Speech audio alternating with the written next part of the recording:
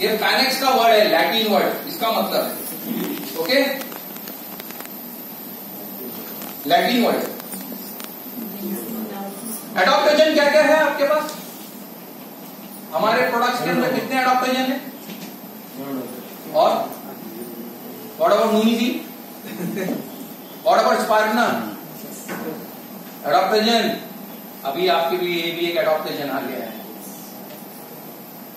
ये जेनसिंग जो देखा है तो लोगों के दिमाग में एक ही चीज़ आती है कि जेनसिंग बोले तो naturally it is related to the sexual activities वगैरह। नहीं। ये आप ध्यान से निकाल। जो मैंने यहाँ पर एक वर्ड यूज़ किया कॉग्निविटी फ़ंक्शन आपके ब्रेन से रिलेटेड वहीं से आपका सारा काम स्टार्ट होता है। अगर आपका माइंड ब्रेन मज़बूत नहीं है तो आपको भूख का एहसास नहीं होगा। आपकी लाइफ स्ट्रांग नहीं रहेगी। आप चलना फिरना नहीं होगा। आपको कॉल आ गया कि आपको अभी दादर आना है, आप पहुँच रहे बोरली।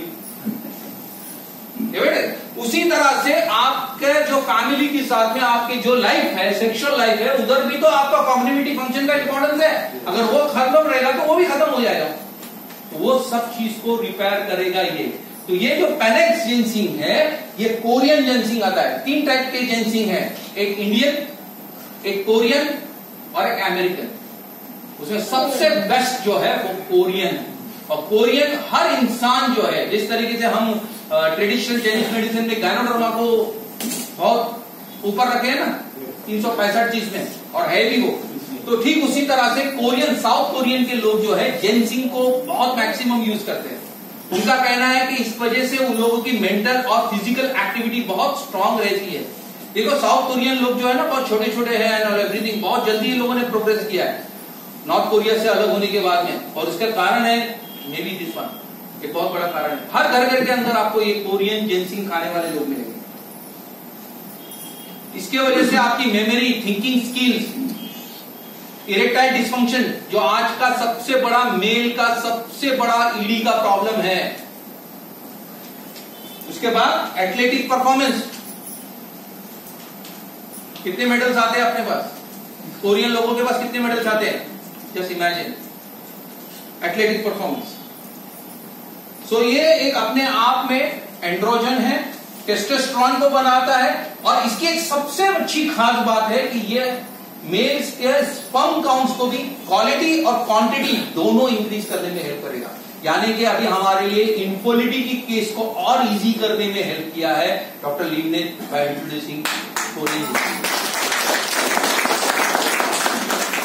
ये एनर्जी और स्टेमिना को बूस्ट करेगा मेंटेन स्ट्रेंथ करेगा support endurance okay panax ginseng जिसको कोरियन जिंसिंग कहा जाता है वेरियस हेल्थ पर्पज के लिए यूज़ किया गया एडॉप्टोजन है। सबसे बड़ी बात है, ये स्ट्रेसर का रिलीवर है। यानी कि आपके स्ट्रेस को डायरेक्टली रिलीव करेगा। इसके अंदर बहुत सारे एक्टिव केमिकल्स है जिसके अंदर जीनोसिसाइड्स और पैराक्साइड्स है। थिंकिंग स्किल्स में बताया और main overall health and endurance में काम कर रहा है। ठीक है? उसके अलावा इसमें विटामिन बी ट्वेल्व दिया गया है। और एक चीज़ दिया गया है जिसके बारे में लिखा नहीं गया है। तो अगेन मैं वो लड़की को बुलाना चाहूँगा। बच्ची इधर बेटा।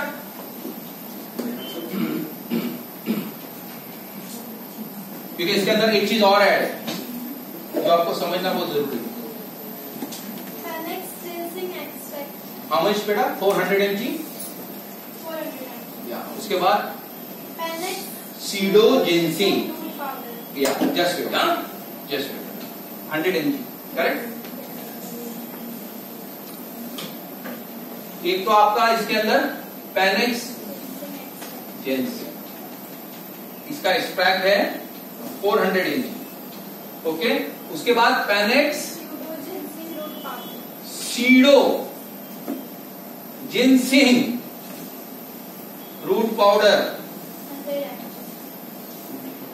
ये हंड्रेड एम जी अब ये वर्ड देखोगे आप तो इसमें सीडो वर्ड है।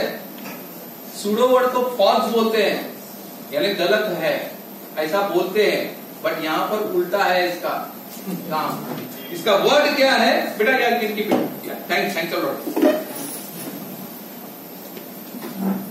पेनेक्टेंसिंग जो है ये आपका ब्लड सर्कुलेशन को फास्ट करेगा।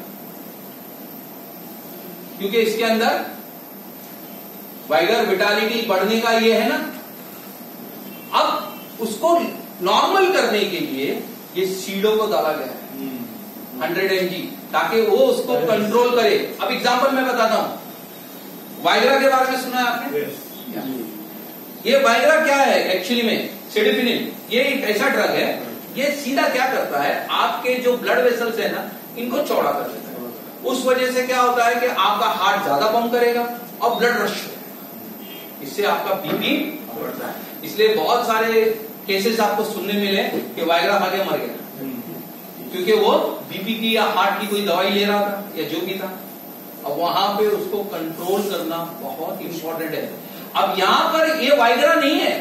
It is not a Viagra but इसके अंदर जो है जिनसिंग कोरियन जिनसिंग जो है, ये आपके सर्कुलेशन वगैरह पे वही काम करेगा, जैसे कि ब्लड को खोलेगा तो वहीं पे उसको कंट्रोल करने के लिए भी जिनसिंग को डाला गया दैट इज़ सीडो ओके इसका मेन इंपॉर्टेंट है कि ये आपका स्टॉप या स्लो डाउन ब्लीडिंग या कहीं पे भी बहुत ज़्यादा ब्लीडिंग वगैरह हो रही है तो स्टॉप ब्लीडिंग करने में हेल्प कर सकता है। जैसे कि फॉर एग्ज़ाम्पल है नॉर्मली हम क्या करते हैं? कि ज़्यादा ब्लीडिंग वगैरह हो रही है तो पॉज करके अभी दवाई आ जी।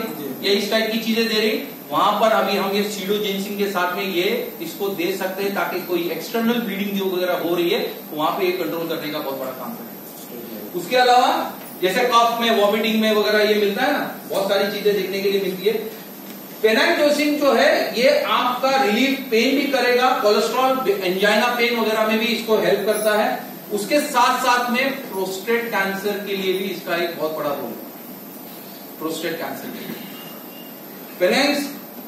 Pseudo ginseng might relax blood vessels which would improve blood flow और जैसे ने, नेपाल ये एक्चुअली में ये जो पेनाइन जेंसिंग है ना ये इंडियन जेंसिंग है।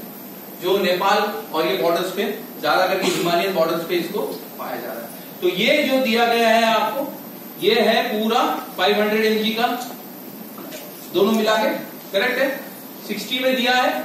अब इसको बहुत सारा पबमेड नेटमेट्स वगैरह जो है ना, ये जितना मेडिकल रिसर्च पेपर क्या कहता है कि कोरियन जेंसिंग है ना बेड टाइम पे मत कीजिए ये आपके स्लीप को थोड़ा डिस्टर्ब करेगा। और उसके पीछे रीजन है।